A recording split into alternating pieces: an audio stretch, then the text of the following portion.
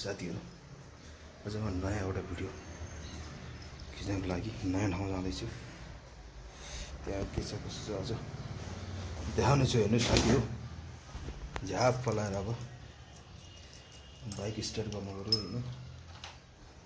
track लाएर आज track लाएर नयाँ